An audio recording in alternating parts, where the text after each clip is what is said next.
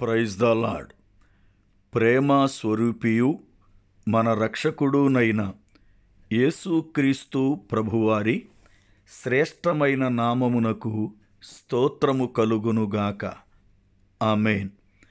ప్రభువునందు ప్రియులారా ఈ దినము ఆగస్టు ఇరవై ఒకటి బుధవారపు ఉదయకాలము వేళ దేవుని వాక్యము వింటున్న మీ అందరికీ దైవజనునిగా living prayer fellowship ministries international మా సహవాసము యొక్క పరిచర్య పక్షముగా నా హృదయపూర్వకమైన శుభములు. ప్రభువు మిమ్ములను మీ కుటుంబములను ఆశీర్వదించి తన కృపా వాత్సల్యము చొప్పున మిమ్ములను దీవించునుగాక. ఆమెన్. దేవుని వాక్యమును ప్రతిదినం ఈ రీతిగా ధ్యానించడానికి ప్రభువు మనకిచ్చిన గొప్ప భాగ్యాన్ని బట్టి దేవునికి రుణస్థులమయ్యున్నాం ఉన్నాం రండి మనము ప్రతిదినం కీర్తన గ్రంథము నుండి వచనం వెంబడి వచనం ధ్యానిస్తున్నట్లుగా ఈ దినము కూడా వాక్యాన్ని విందాం. కీర్తన గ్రంథము ముప్పై నాలుగవ కీర్తన ఐదవ చరణం. వారు ఆయన తట్టు చూడగా వారికి వెలుగు కలిగెను. వారి ముఖములెన్నడును లజ్జింపకపోవును. ప్రార్థన.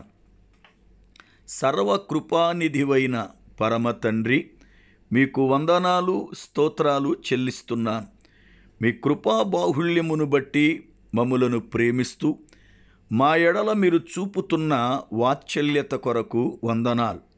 ఈ దినం వాక్యము వింటున్న ప్రతి బిడ్డను దర్శించండి వారిని బలపరచండి.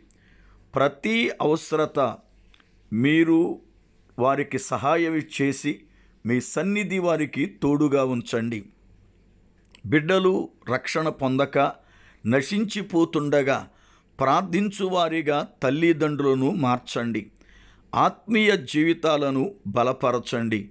మీరాకడ కొరకై మమ్మల్ని అందరినీ సిద్ధపరచుమని ఈ ఉదయకాలం మొదలుకొని రాత్రి పడకు చేరు వరకు పనులలో సకల కార్యములలో మీ సన్నిధి తోడుగా ఉంచి నడిపించుమని యేసు నామమున ప్రార్థిస్తున్నాను పరమ తండ్రి. ఆమె ఈ యొక్క యూట్యూబ్ ఛానల్ని సబ్స్క్రైబ్ చేయండి లైక్ చేయండి షేర్ చేయండి. ప్రక్కనే ఉన్న బెల్ గుర్తును ప్రెస్ చేయండి దేవుని వాక్యం మన విని ఇతరులు కూడా విని మేలు పొందునట్లుగా పరిచర్యలో సహకరించండి. ప్రభు మిమ్మును దీవించునుగాక. ఆమెన్. దేవుని లేఖనములో కీర్తన గ్రంథము ముప్పై నాలుగవ కీర్తన ఐదవ చరణాన్ని చదువుకున్నాం. వారు ఆయన తట్టు చూడగా వారికి వెలుగు కలిగెను. వారి ముఖములెన్నడును లజ్జింపకపోవును అని కీర్తనాకారుడు పాడుతూ దేవుణ్ణి స్తుతిస్తున్నాడు. లజ్జింపకపోవును అంటే అర్థం సిగ్గుపడకపోవును అని అర్థం. దేవుని వైపు ఎవరైతే తిరుగుతారో వారి యొక్క జీవితాలలో దేవుడు చేసే అద్భుతమైన కార్యాలు రెండు కార్యాలు ఇక్కడ వర్ణించబడ్డాయి. ఎప్పుడైతే వారు ఆయన తట్టు చూస్తారో వారికి వెలుగు కలుగుతుంది అన్నాడు. అంటే మానవ జీవితములో ప్రస్తుతానికి ఈ భూమిని చీకటి ఆవరించింది అని యషయ్యా గ్రంథము అరవయవ అధ్యాయము రెండవ వచనం సెలవిస్తుంది. చూడుము భూమిని చీకటి కమ్మియున్నది అన్నాడు.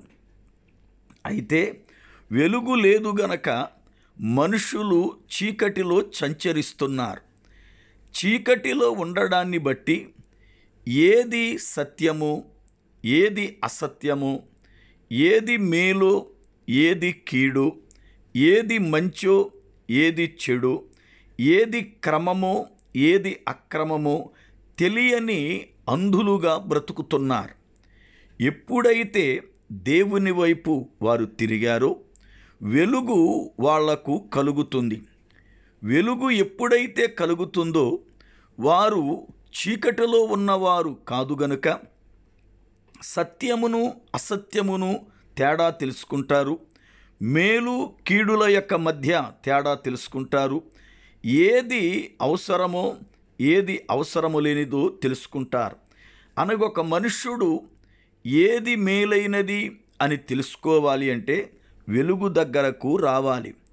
పరిశుద్ధ గ్రంథమును బట్టి యేసు ప్రభువారు యోహాను సువార్త ఎనిమిదవ అధ్యాయము పన్నెండవ వచనములో నేను లోకమునకు వెలుగయ్యున్నాను అని సెలవిచ్చాడు. బాప్తిస్వమిచ్చు యోహాను కూడా యేసు ప్రభువుని గూర్చి సాక్ష్యమిస్తూ యోహాను సువార్త మొదటి అధ్యాయం నాలుగవ వచనములో జీవపు వెలుగు ఉన్నది అంటాడు. అంటే యేసు ప్రభువారు ఏమై ఉన్నారు అంటే లోకమునకు వెలుగై ఉన్నారు ఆయన చీకటిని పారద్రోలి ఆశ్చర్యకరమైన తన వెలుగులోనికి మనలను పిలుస్తున్నాడు. అందుకనే పేతురు భక్తుడు తన మొదటి పత్రికను రాస్తూ రెండవ అధ్యాయం తొమ్మిదో వచనములో మీరు చీకటిలో నుండి ఆశ్చర్యకరమైన తన వెలుగులోనికి మిమ్మును పిలిచినవాని అంటాడు. అంటే దేవుడు మనలను తన కుమారునిలోనికి పిలుస్తున్నాడు. కుమారుడు సర్వలోకానికి వెలుగై ఉన్నాడు. ఆయనలో ఎంత మాత్రమును చీకటి లేదు.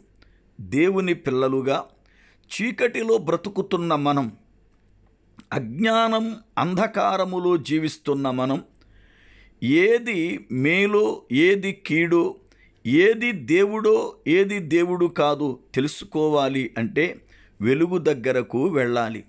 ఎప్పుడైతే ఒక మనుష్యుడు దేవుని తట్టు చూచాడో ఆ మనిషి జీవితములోనికి వెలుగు ప్రవేశిస్తుంది.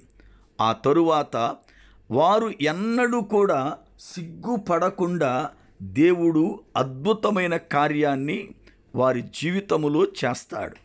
దేవునిని ఎరిగి ఆయన వైపు తిరిగినటువంటి బిడ్డలు ఎన్నడూ కూడా సిగ్గుపరచబడరు. కారణం దేవుడు వారిని సిగ్గుపరిచేవాడు కాడు. శ్రమల గుండా నడిపించవచ్చు నిందల గుండా నడిపించవచ్చు శోధనల గుండా నడిపించవచ్చు కీడులు మన జీవితములో అనుమతించబడవచ్చు. కానీ దేవుడు మనల్ని ఎన్నడూ కూడా సిగ్గుపడేటట్లుగా చెయ్యడు. ఒకవేళ ఒక వ్యక్తి సిగ్గుపరచబడుతున్నాడు అంటే దానికి తన పాపమే కారణము గాని దేవుడు కాడు. దేవుడు మనకు తండ్రి. తన పిల్లలమైన మనల్ని ఎన్నడూ కూడా సిగ్గు పడనీయడు. అయితే మనుష్యుడు దేవుని వైపు తిరగకుండా లోకములో దేని దేని వైపు తిరిగి సిగ్గుపడుతూ మనుషుడు తలదించుకుంటున్నాడు.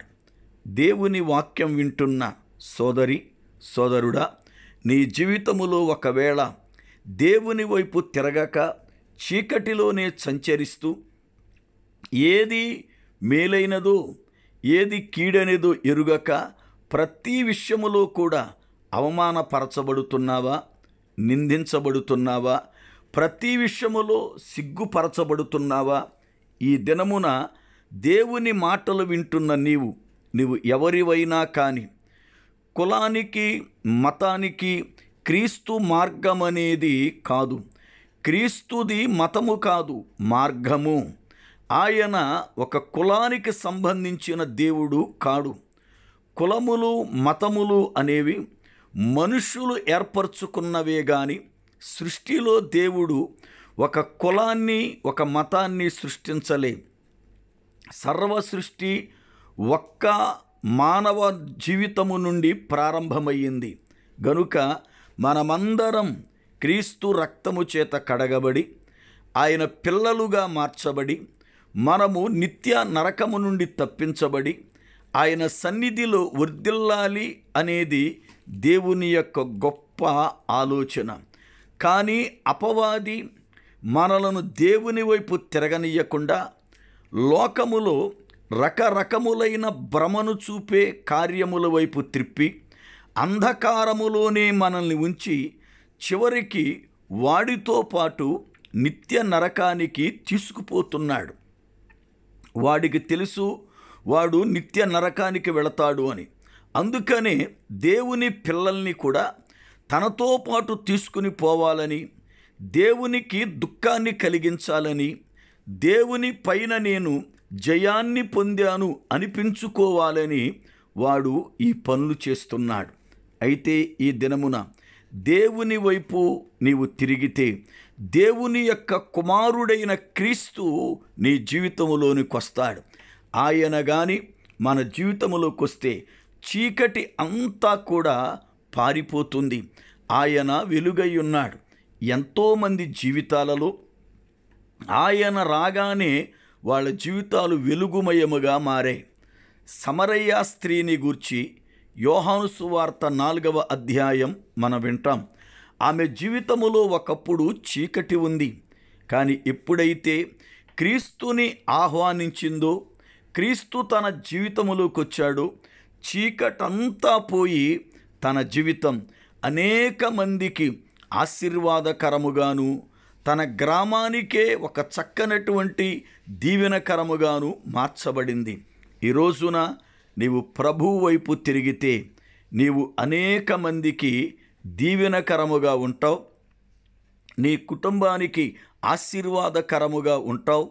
నీ జీవితము వెలుగుమయమై అనేక మందికి చక్కనటువంటి మాదిరిగా దేవుడు నిన్ను మారుస్తాడు.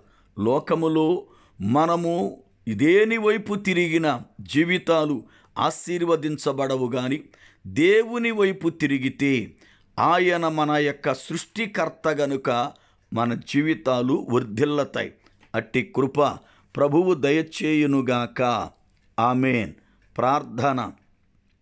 పరిశుద్ధుడవైన మా పరమ తండ్రి మీకు వందనాలు స్తోత్రాలు. ఈ దినమున వాక్యము విన్న ప్రతి బిడ్డను దీవించండి. వారి జీవితములో చీకటిని తొలగించి వెలుగుతో నింపి నీ సన్నిధి వారికి తోడుగా ఉంచి నడిపించుమని ఏసునామమున ప్రార్థిస్తున్నాను. పరమ తండ్రి ఆమెన్.